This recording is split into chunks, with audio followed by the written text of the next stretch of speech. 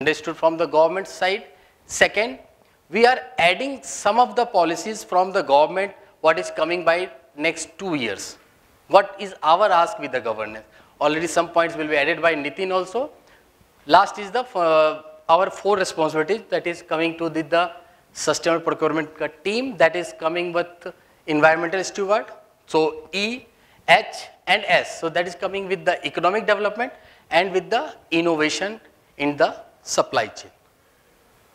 Next, uh, coming to the strength and improve supply reciprocity. So Nitin will add on this. Okay. Uh, am audible?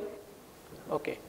So, uh, since morning we are discussing about the supplier relationship, strengthening relationship with the suppliers, and strategic partnership. Many times we hear so many things about all these lines. We all are procurement professionals. I am also like you, working for last so many decades in this sector. And I work with electronics giant companies uh, and now with the construction company. Over a period of last three plus decades, I have found that we as a larger company or working on a larger volumes and larger sales, we try to sometimes uh, dictate our terms to the small entrepreneurs. Because I also work with the MSME sector very closely. I know the pain areas where these people are finding it difficult to really cope up with this strategic partnership terminology, what we say and what we discuss here in this forum. So actually, uh, to my uh, viewpoint, I would say uh, as a pro procurement professional, we should really go in detail to understand what exactly is this partnership really mean meant for those people whom, with whom we work day in and out. A small entrepreneur supplying raw materials to us has to be a real partner to us. Here it is not the case. We may discuss, but in real terms, he might not be having the same meaning what we have about him as a strategic partner. Correct? So how do we do that? We are involving him in every discussion. We are calling him for the negotiations. We are discussing with him. We are trying to discuss so many things with him about the contracts. How he is getting, going to get benefit after this contract and so on so on. Per real terms mein, whether he is getting that benefit, what we have visualized to him lies the question mark to me as a professional. Uh, I started my career with an uh, electronics giant called Sharp Corporation, a Japanese company. And I was fortunate enough to have a boss, a Japanese boss. And uh, at a very young age, he um, gave me good knowledge about treating the supplier not only as a supplier but as an equal partner. At a very, very young age, things right. were made very clear to me how we think about the supplier. And certain things are very, very different here in Indian context as compared to the Japanese context. They see a supplier as an equal partner whereas we see him as a supplier, a vendor. We never do a partnership analysis. We do a supplier analysis. We do vendor rating. We don't do partner rating. We need to consider him as an equal partner because he is the one who is helping us to improve our business and our bottom lines. Right? So from that point of view, we as a procurement professionals need to now change. We need to quickly change because we all are pretty agile and resilient towards the supply chains as well. So we need to slowly shift our focus from the supply chain towards this taking these suppliers or taking the vendors or these partners together in our business growth or in our business environment. So what do we do is we try to create the communication system with them. Any supplier, if we want to ask them or if we want to tell them, ki, bhai, we have developed an application, now you need to integrate with us. The first thing he will ask us, sir, mujhe kya milega? Correct? You also represent a small uh, or a big enterprise. The question remains, who will bear the cost? a small application will cost between 1.25 to 5 lakh rupees. Plus the development cost and the running cost is different. So we need to understand the channel of communication that we are trying to impose on him, being a very multinational company, really whether it is going to help him or not. And if it is not going to help him, probably he will not help us to get this app integrated with us, right? Then we need to have a very healthy communication.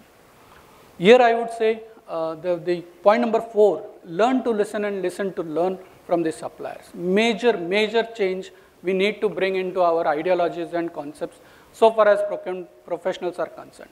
We need to be very professional from this aspect because we are not ready to learn from the suppliers internally.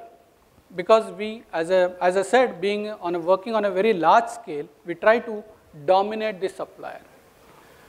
Correct? So that should not be the case. Now is the time that we need to change then data driven decisions. Of course we all procurement professionals are working with the dashboards and we take decisions on the data that is reaching out from the uh, devices treat every supplier contractor driver etc as a equal partner that is the point that i was stressing upon and it, it really, I mean, it's, it is in my blood. So I, I all the time uh, promote this concept to treat every driver, even uh, we need to give him uh, tea, water, everything in our, uh, whenever he reaches to our factory or at our workplace. Then create trustworthy business environment. That is very much needed in the present scenario. Now, how will we develop this? Can anybody tell me how are we going to develop a trustworthiness with the suppliers क्या करने से हासिल होगा okay with respect to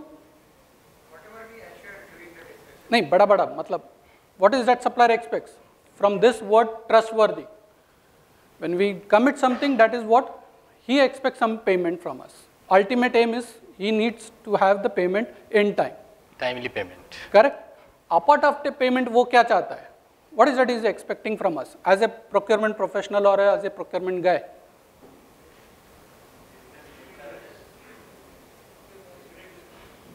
yeah so, uh, i'll uh, try to merge two three points together the quick response from the procurement professionals many times in many companies whenever i go for a training program i find the procurement professionals are not equipped to handle a phone call coming out from the supplier for payment because he or she is not having the right information with him. Payment kab milega? I'll just check and I'll revert back. Matrends, वो supplier बैठा है 700 kilometre दूर or he might be in Bangladesh or he might be in Kuwait. He is asking for some feedback and we are not able to respond in time. So quick response and that to correct response matters a lot being a procurement professional. Next. Yeah. So uh, I'll stress upon adding value to the chain. Adding value to the chain is not a new concept in supply chain. But adding value in these aspects matters a lot for us to be a professional You and me will be recognized in the market only if we add value from these aspects.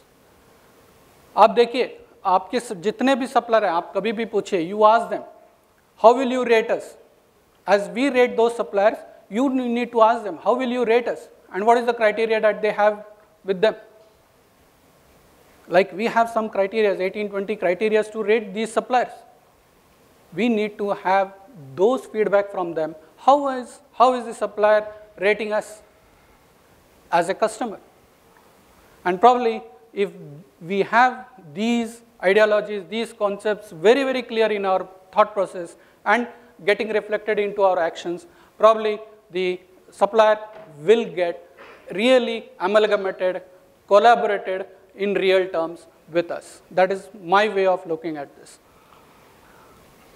Next. Next. Yeah.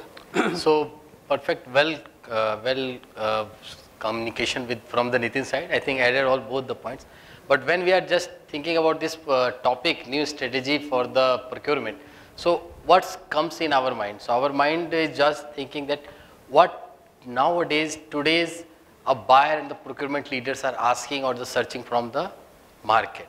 So their demands are only three. One, can we place the order with the complete and uh, clear quantity? Can we commit to the supplier on the payment, what they are asking for? Or are we aligning the both uh, mutual agreed payment terms? Third, delivery should be timing, uh, time, uh, delivery timeline should be proper and with respect to the clear technical quality. Because already they are, they've worked on the T1 and L1, so they have to come forward. So, they, so already we have dis discussed in the morning uh, on the same that what could we add new to the new age procurement strategy. So first thing comes in our mind that complete data transparency between we all of us. All of us means in the internal CFT with respect to the buyer, clear discussion with the supplier. What market is already uh, small market is there, open market is there. Each and everyone is connected with the individual competitors and the suppliers and the other team members. So they can easily, they can easily trace your prices and other things. So transparency with your uh, suppliers, your partners, your vendors and convince on the complete clear thoughts Delivery timeline should be clear, supply quantity should be clear, and the payment terms should be clear. And that should be obeyed by the both end. So that should be the transparency comes in the new procurement strategy. In the same thing, we have some of the stages of procurement cycle, what, which is already common for all. We are not giving you the any new things, but as we forgot the some of the things, so identification of the business needs, what we are searching for. If I am going to buy solar modules, so we have to be completely ready with the film, uh, voltage levels, their wattage of the modules, delivery from the uh, delivery from the supplier ends with respect to the project site locations. So clarity of all the things. Then purchase requisition approvals. The same PR is coming into the market. That uh, PR into the buyers to the buyers. So PR raised to the buyers the end approvals properly. So that should be the SLA aligned.